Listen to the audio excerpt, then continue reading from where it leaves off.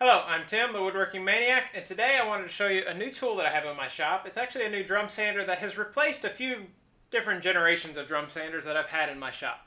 This is a Supermax 252 ES drum sander, and this is replacing the Grizzly 24-inch double drum sander that I previously had in my shop.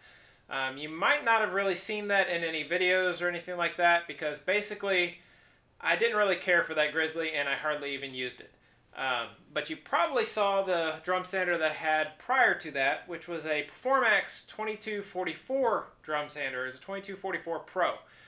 And uh, that was one of uh, Supermax Tools' like first models of the Performax 2244 Pros that I had. Um, and it was before they had added quite a few different features on there. So I had one of the original models of that machine and I really liked it, but there were a few different things on there that just uh, I, I, knew that I needed a basically a bigger and beefier machine, and that's the reason I ended up getting that Grizzly. Now I got that Grizzly about the same time that I got that uh, got this 20 inch uh, uh, planer, and so it's been a while, and I've I've had that Grizzly for quite some time, just haven't been happy with it and haven't hardly used it. I started looking around for a different drum sander to replace it, and I looked at just about everything that's out there and basically kept on going back toward Supermax and this is the machine that I decided needed to be in my shop. And let me let me tell you a few different reasons why. First off, uh, my experience with that Performax machine really kind of sent me back towards Supermax quite a few times, uh, and and kept directing me back back towards that. So uh, it was kind of a good history there. Um, but one thing this machine has that uh, I, I, really missed with the uh, the Grizzly, or the Performax machine that I had had variable speed uh, feed on it, and the Grizzly did not. This one here does have variable speed, but it also has a feature that my Performax machine was one of the originals, and they added later, but with that original model it did not have, and that's called IntelliSand and that's actually part of this uh, the the feed here that when you actually feed some material through here and it detects that you're feeding it through too fast or you're trying to take off too much material at one time and it can actually uh, feel some hesitation or anything like that that it automatically slows down the feed rate. This way you don't end up burning on, on with burning on your material or burning up your sandpaper. So it ends up saving the material you're actually sending through, and also it saves on your sandpaper material itself. Because as soon as you end up burning on that sandpaper, it's really hard to actually uh, clean up your sandpaper and actually get good usable sandpaper out of that. Uh, for the most part, once you've burned on that sandpaper, that sandpaper is toast, and you're going to have to replace that strip of sandpaper on there, um, or not use that section. And if you end up burning right in the middle there, you're going to have to use only half of your uh, drum sander at any given time, and that gets a little annoying. So I did that countless times with my Performax drum sander because I sent stuff through there too fast quite a few times. But this thing having an IntelliSand feature, which you'll see here, I've got a, uh, cutting board that I ended up uh, using an older table saw blade, which ended up leaving some burn marks. And I'm sending this end grain cutting board here with these burn marks on this uh, cutting board, and I'm intentionally sending it through here too fast. By doing that, the machine automatically can tell that I'm sending it through here too fast, and with the end grain cutting board, that's a really hard material for it to actually try to sand. So it slowed it down, and then sent it through nice and slow, and did a really nice sanding on it, and actually cleaned it up very, very well. Cleaned those burn marks off of there for me as well. So it ended up doing a very good job. So that's one thing that really kept sending me towards uh, Supermax tools. And I think all of their sanders, they have an entire lineup of, of different sanders. They have some smaller machines in this one and also some that are, I think, even twice the size of this one. So they've got some that are uh, quite a bit bigger. So really awesome sander uh, uh on the IntelliSand. This machine actually has a 3 horsepower motor on it and uh, my Performax machine that I had before uh, was about half that power. I want to say it was a one one and a half horsepower. It might even been a one and three quarter horsepower, but it was a 110 machine. And whenever I would kind of bog it down, I would trip a trip a breaker uh, quite a few times. I, I, did it countless times, so that was kind of annoying. So I definitely wanted a machine that had a good uh, good power to it, and definitely a 220 machine because that's kind of what I already had it wired up for. Uh, so that was another reason I kind of went this route. Also, uh, another real awesome thing about this machine, especially in comparison to the Grizzly. Um, the Performax machine changing sandpaper on that was a dream. It's the same thing with this. Changing sandpaper on here takes no time whatsoever. It's got a clip on the front. You just hook the sandpaper on, you wrap it around, and then it's got a little spring clip on the back that you catch it, and that, that puts tension on the sandpaper and holds it in.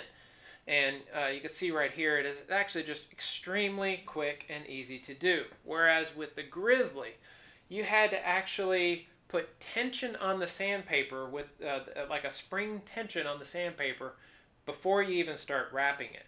And then you had to hold that tension as you're wrapping the sandpaper all the way around. And that was so annoying and kind of tedious as you're doing it. Trying to do it by yourself was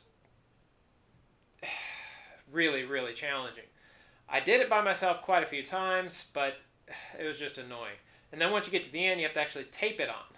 And you have to have tape to, to hold your sandpaper on there as kind of an extra accessory. Uh, if you go to like Grizzly and actually watch a video that, that they have an instruction video on how to actually add sandpaper to it, they show you to have two people to add sandpaper to that machine. So it takes, according to them, it takes two people to add sandpaper to their machine. Uh, which I have had my wife help me out adding sandpaper to it, and it is definitely easier with two people. There's no doubt about that. But changing sandpaper on this, very, very easy. So I, that's another thing that I really loved about this machine. Also, this machine has a couple digital readouts over here.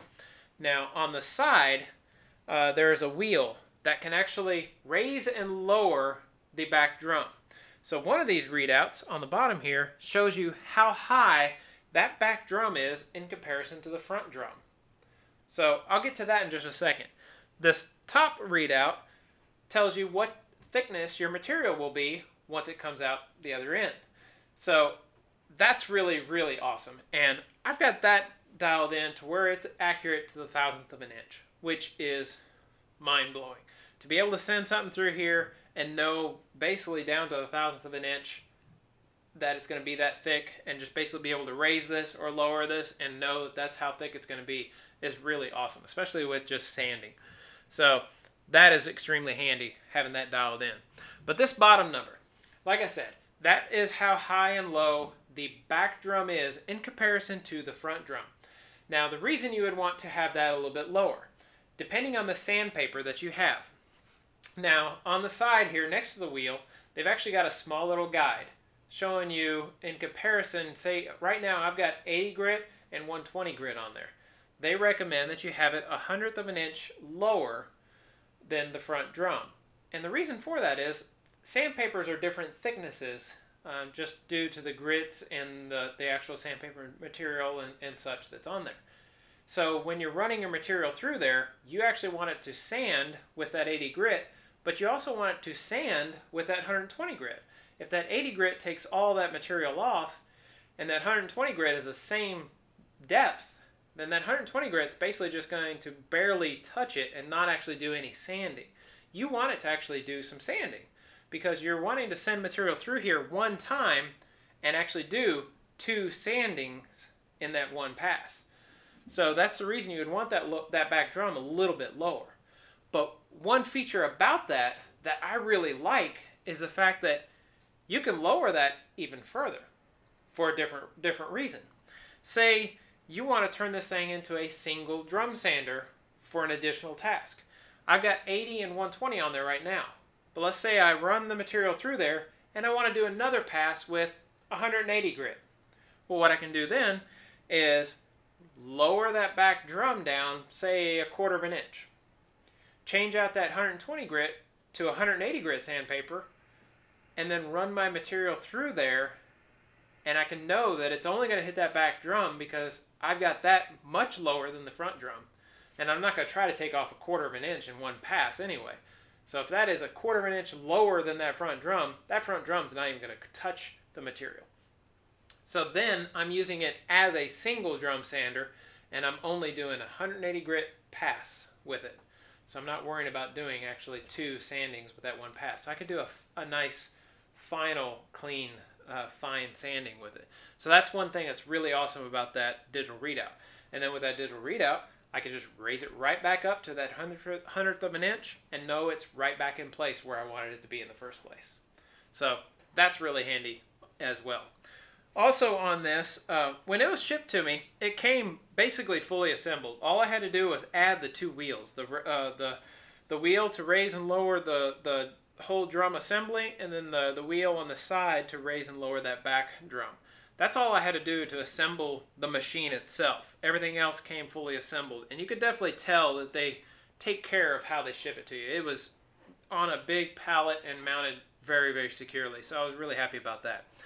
I did get a few accessories on here. I got the in-feed and out-feed tables, and those are really simple to, to mount on. It was just a few bolts to mount the tables to the brackets, and then two bolts to mount the brackets to the actual machine. And then I also got the uh, the mobile base, and this was probably the most simple mobile base to uh, put together ever. So I put the mobile base together, and I've got it on that mobile base. Um, so it's been a really awesome machine. I have actually used this thing quite a few times already before actually getting this video out.